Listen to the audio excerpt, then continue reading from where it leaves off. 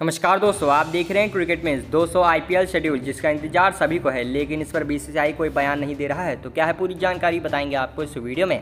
तो अगर आप भी चाहते हैं कि आईपीएल फिर से शुरू हो तो इस वीडियो को लाइक कर दीजिए और चैनल को सब्सक्राइब कर लीजिए। तो चलिए वीडियो को शुरू करते हैं। दोस्तों आईपीएल 2021 बीच में स्थगित हो गया था और इसके बाद फैंस काफ़ी निराश नज़र आ रहे थे और सभी इस महामारी के चलते आईपीएल के कैंसिल हो जाने से नाखुश नज़र आ रहे थे। सबका मन यही कह रहा था कि जल्द से जल्द आईपीएल फिर से शुरू हो जाए।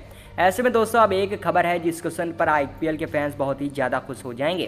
दोस्तों, कोरोना महामारी के चलते आईपीएल के सीज़न को बीच में ही स्थगित कर दिया गया था।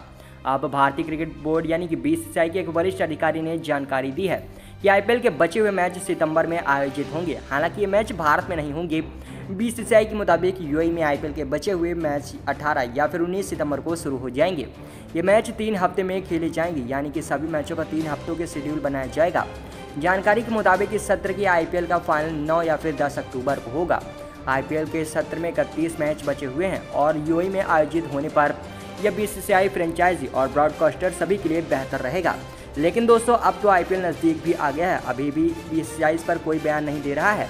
ऐसे में दोस्तों, कहना बिल्कुल सही नहीं होगा कि आईपीएल यूएई में ही होगा, क्योंकि एक छोटी सी जानकारी सूत्रों के हिसाब से निकल कर आई थी कि आईपीएल यूएई में होगा, पर अभी तक बीसीसीआई ने इस पर कोई भी अपना आधिकारिक बयान साझा नहीं किया है। और दोस्तों बता दें कि कई विदेशी खिलाड़ी भी अभी इस पर मुहर नहीं लगा रहे हैं कि वह आईपीएल में उपस्थित होंगे भी या नहीं। इसको लेकर अभी कुछ कन्फर्म नहीं है सभी विदेशी खिलाड़ी खेलेंगे या नहीं।